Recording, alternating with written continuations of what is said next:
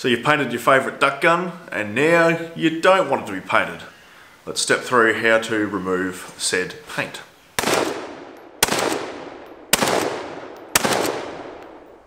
Alright, so it's pretty simple. All you need to do is just strip down your shotgun. Um, the further down you can strip it, the easier it's going to be. Uh, more singular parts makes it easier to clean.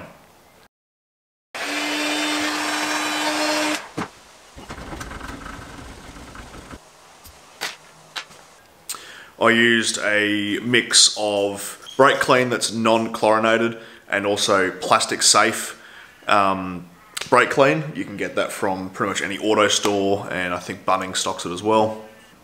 In some instances I cleaned with methylated spirits and I used uh, nylon brushes, just normal gun cleaning brushes and, and 4 steel wool. Scrubbed it all down. It really is uh, all about the elbow grease. So the more you put in, the more effort you do, the better your shotgun's going to come out.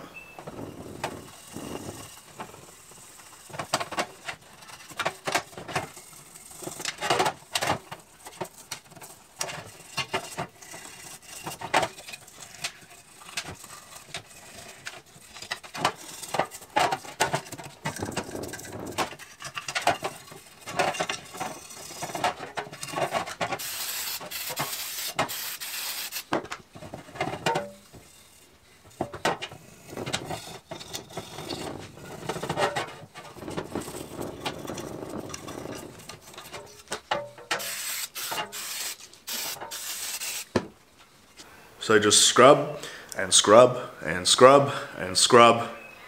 And at the end of everything, you'll end up with a shotgun that looks like you just bought it. Happy days. Hope you got something out of that. See you next video and hooroo.